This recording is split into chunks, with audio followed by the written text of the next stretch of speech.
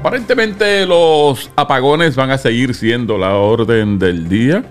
Hoy Luma advirtió que continuarán los apagones y no tiene muy buenas noticias en cuanto al tiempo en que Puerto Rico podría tener un sistema más robusto y más estable en términos de fallar en momentos en que necesitemos un buen servicio eléctrico.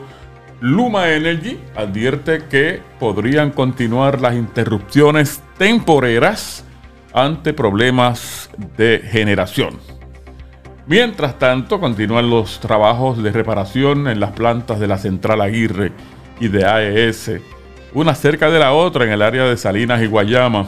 Ahí vemos a un empleado haciendo una labor en lo que aparentan ser las turbinas o las calderas de este sistema obsoleto, anticuado, deteriorado que tenemos de luz, de energía eléctrica aquí en Puerto Rico. El consorcio Luma informó hoy que debido a problemas de generación, los abonados vamos a continuar teniendo y experimentando interrupciones esta noche y en noches subsiguientes hasta que se resuelva el servicio o se, resuelva el problema con la generación y el problema con las turbinas y los sistemas, las unidades de Aguirre. En sus redes sociales, la empresa a cargo de la transmisión y distribución de la energía eléctrica eh, continúa asistiendo a personal técnico de la Autoridad de Energía Eléctrica para resolver la situación que se produce en medio del azote de calor extremo que estamos teniendo y que se extiende a por lo menos hasta el sábado, según el Servicio Nacional de Meteorología. Por su parte, la Oficina de la Autoridad de Energía Eléctrica, en términos de prensa, informó que tanto empleados de la corporación y personal del conglomerado energético continúan trabajando para arreglar tanto el transformador de emergencia y la válvula reguladora de agua de alimentación de la caldera de la unidad 2 de Aguirre en Salinas. No obstante, la corporación adelantó que dicha unidad generatriz podría funcionar nuevamente tan pronto como mañana.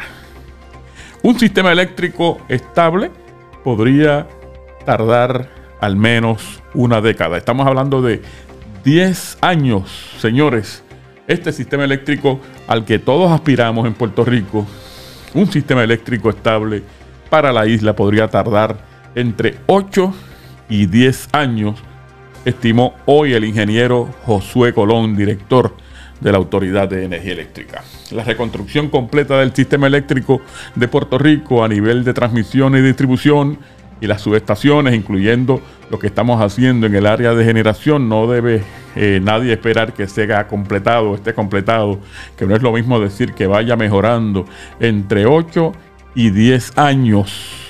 Yo entiendo que es la reconstrucción completa de los fondos que están asignados, dijo Colón en una entrevista en un programa de televisión. Esa es la realidad. Hay mucha infraestructura de energía, hay sobre 30 millas de cable de distribución de diferentes voltajes, sobre 3.000 millas de cablería. Por lo tanto, eso va a tomar tiempo. Son sobre 400 subestaciones. Varias de ellas tienen que ser reconstruidas completamente, añadió. El pronóstico eh, de Colón se da luego de que ayer los representantes de Luma no pudieran dar una respuesta certera eh, de parte de Mario Hurtado, vicepresidente de operaciones de Luma Energy, que insistió en que las mejoras se están produciendo día a día. Sobre si las operaciones completan o contemplan el paso de huracanes, Colón indicó que no lo podría soportar es otro huracán María, no podría soportar otro huracán María. Lo que no contempla es si posa o si pasa otro María, eso sí sería un cambio radical.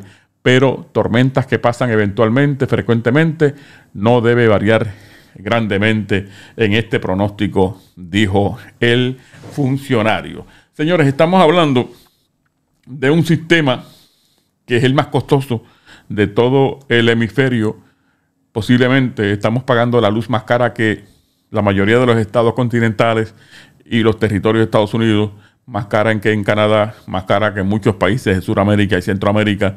Estamos pagando la energía eléctrica súper cara y estamos teniendo un servicio deficiente, un servicio malo, por no decir malísimo, el que estamos recibiendo y pagando el kilovatio hora exagerada, extremadamente caro en Puerto Rico.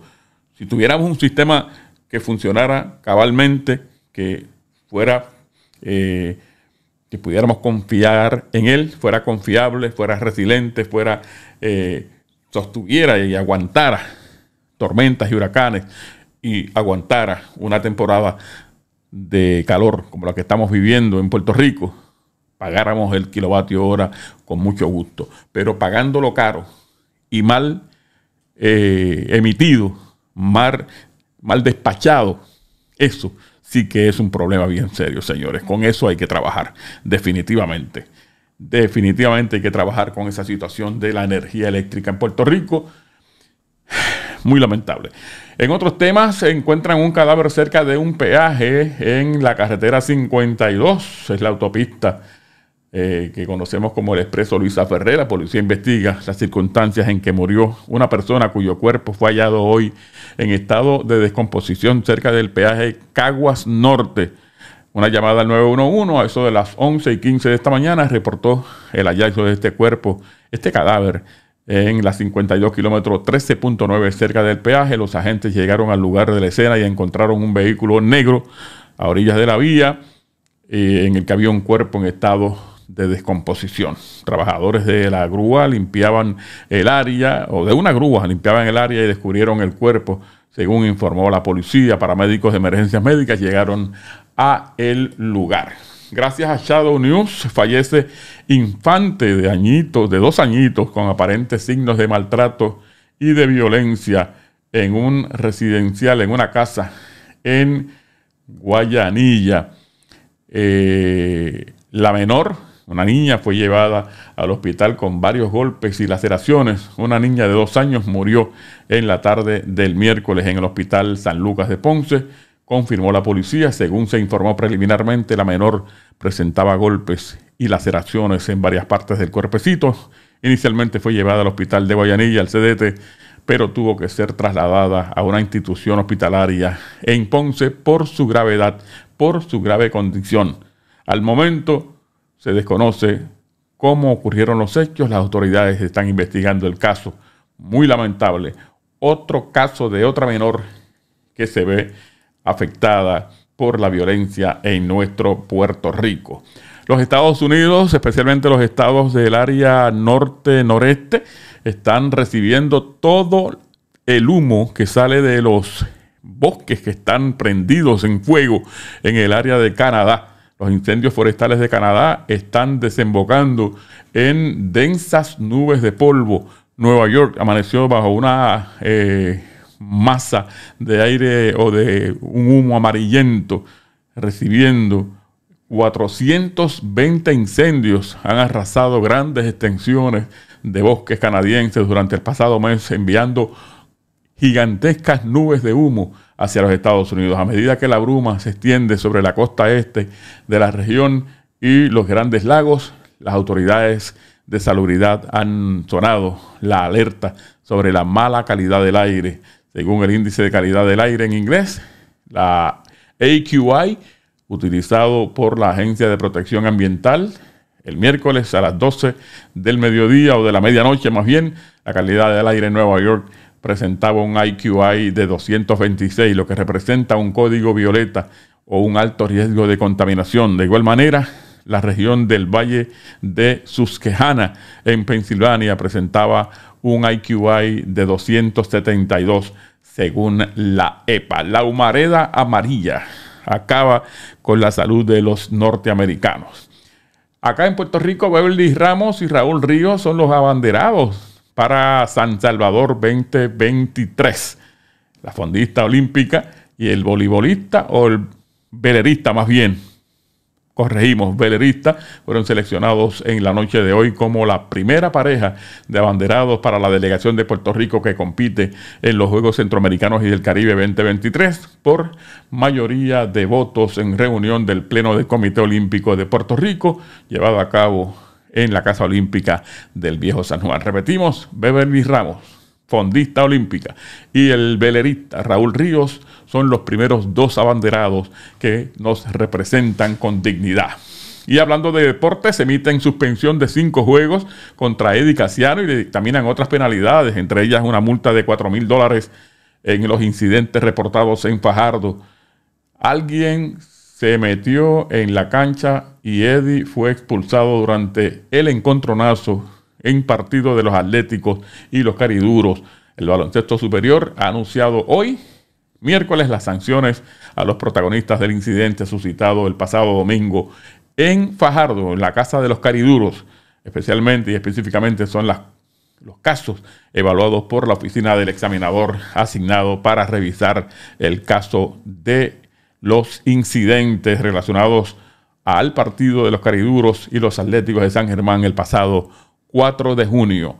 El resto de la temporada, fuera, cinco juegos y 4 mil de multa contra Eddie Casiano. Hay que aprender a controlar los impulsos, no podemos actuar compulsivamente, no podemos actuar de esa manera violenta contra la violencia.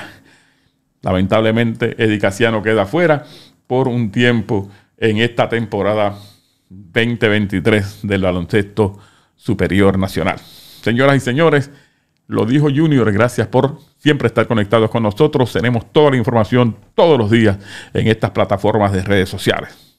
Gracias. Restaurante Deleite en el CNC Profesional Plaza Barinas Yauco 787-987-8088 M&M Autoservice, Comercio Final Yauco, 267-3136. El Desvío 1, detrás del ñato Ramírez Yauco, 856-2215. Café Bakery, en calle 25 de Julio Yauco, 856-8269. El desvío número 2, carretera 116 Lajas, 827-8422. Empresas Babilonia, guardias de seguridad e investigaciones privadas en Yauco, 449-6922. Una empresa en las manos de Dios. Papa Deleite en Yauco Plaza 1, 939 415-7391. Laboratorio Clínico Susúa, Barrio Susúa Alta, La Palmita Yauco.